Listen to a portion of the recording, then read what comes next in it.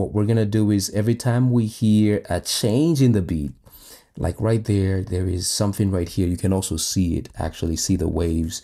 I'm going to press M and that will create that marker right there. I'm gonna do that over and over again. And don't just rely on the wave sound, actually listen to the music, listen to it so that you can see where there's a change. Imagine where you're gonna cut the clip as well and, and work with it, work with it. It's actually a very fun process because it's creating the experience, creating all the emotions that comes out of the video. That's why music is very important. Cut into the right beat is very important. All right, when you look at this one, you can already see that there is a rhythm here in the song. Don't even worry about where you're gonna cut, where you're gonna put the clips. Just do it like this first. You have the markers, you have all these options. Once you're done with that, you can just move the clips and cut them to those markers. That will be the beat, cut it to the beat. But I recommend that you don't just cut all the clips on the markers all the time because it's gonna be very predictable when you listen to it. Kind of create some surprise uh, while you edit so that you can create more emotions to it. Here's the cool thing about this music. Because of Matchlink AI, this music already have forest and some birds in it. So I don't have to add that in sound effects. Of course,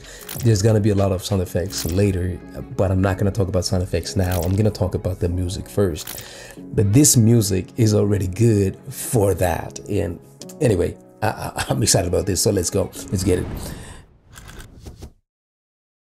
So I'm going to change here. So this is what we're going to do. We're going to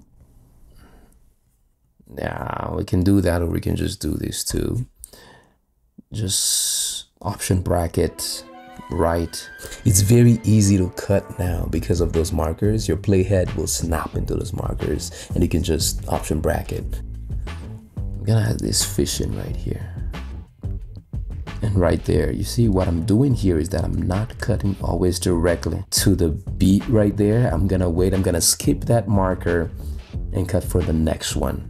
Actually, what I'm gonna do is I'm gonna select these and then uh, press and hold P I'm gonna create a little separation there um, in a little, little gap there, a little separation, whatever you call it. And then I'm gonna do this. And then here we go. And I'm going to cut to the beat again. I'm gonna add this.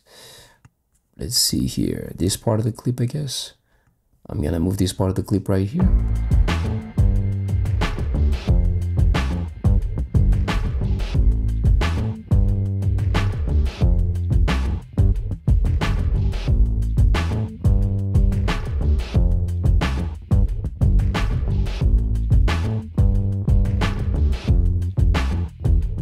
This last part right here, there were a lot of drums here, so I'm gonna skip them. I'm gonna do some cuts here.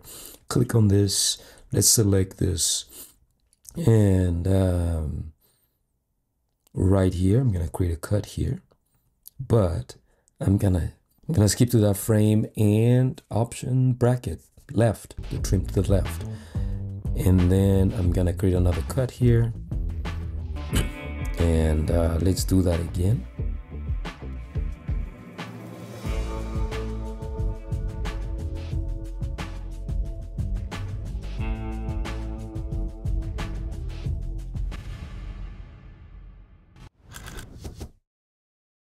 Not bad. I like it now, but I'm going to add some reverb at the end so that it's not going to be too dry. And the way I do that is I'm going to select this last part right here. Um, we're going to choose the that last beat right there. And uh, let's see here. Okay, so right here, I'm gonna create a hold right here, frame hold, which is Shift H. And I'm gonna go to effects. I'm gonna find Cathedral. I'm already having it here because I use it all the time. Uh, Cathedral 2 will give it like this echoey sound. Uh, you can listen to it. And right there when it goes, I'm going to create a keyframe right there.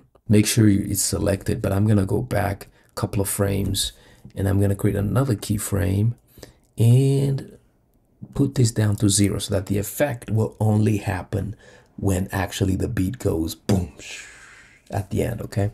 So I'm gonna go there uh, to the other frame by pressing this click this go to the first frame that I created and uh, I'm gonna go 90 or 9 whatever it is just just want the effect to be there. Somewhere there 87 whatever it is it's gonna work. And not bad. I'm gonna delete this because that means I don't need this part. And I'm gonna extend this so that it can match the timing. And let's listen to that. Let's look at everything now. Boom